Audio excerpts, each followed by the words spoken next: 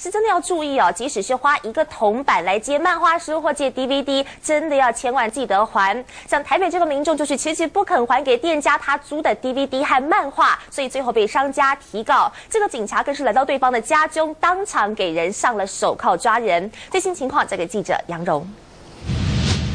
好主播，很多人喜欢到漫画店租借漫画，不过却有业者向警方反映，越来越多人租了漫画却不愿意归还，严重影响到其他要租借客人的权益。有店家老板呢，就向警方透露，内湖有两名客人分别租借了漫画光碟之后呢，店家催了三个月都不愿意归还，老板一怒之下呢，将两名客人告上地检署，屡传不到后呢，遭到通缉。警方根据线索找到他们的住所，依法将他们当场逮捕归案。其中一人的母亲看到儿子当场被警方上铐，急得大哭。那事后呢，两人也无辜的表示，只是一时忘记归还漫画书，真的不知道下场会这么严重。那对于自己欠书不还的行为呢，也感到相当的懊悔。警方呢无可奈何，还是依法将两人移送市检侦办。那书店老板表示呢，实在是因为越来越多人向漫画店租借漫画，但却不肯归还。那希望通过这样的案例呢，给欠书的客人一个警惕，希望他们能有借有还。以上这些状况，主播，好，我们谢谢杨蓉的连线报道。